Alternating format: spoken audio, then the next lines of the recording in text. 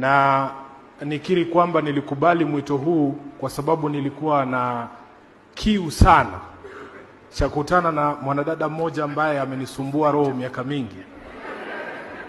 Anaitwa Sara Hassan, sijamwona